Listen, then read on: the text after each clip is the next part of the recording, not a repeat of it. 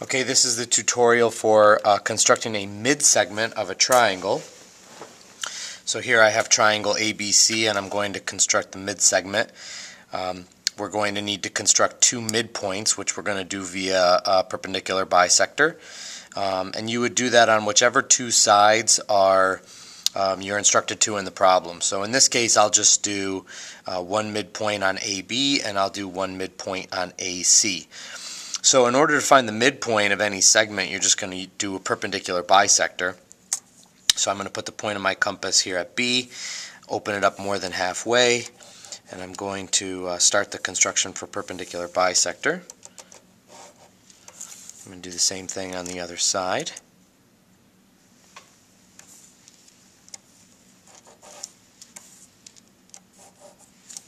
Okay, and once you have your perpendicular bisector set up, you don't actually need to draw the whole thing because I only need to know where that perpendicular bisector crosses my segment. So I actually just need to put a point, a construction mark right there. That's all I really need.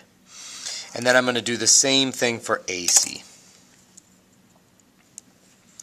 Opening up more than halfway.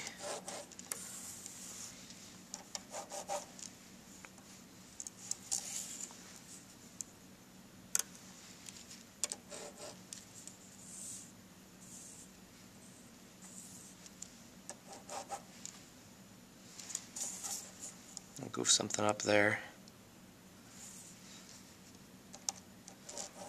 There we go. There. And then I'm going to line those up. And then once again, I don't need the entire thing, I just need the midpoint.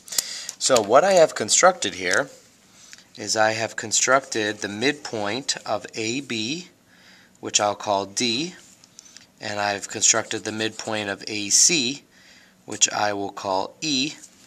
And if I connect those two midpoints,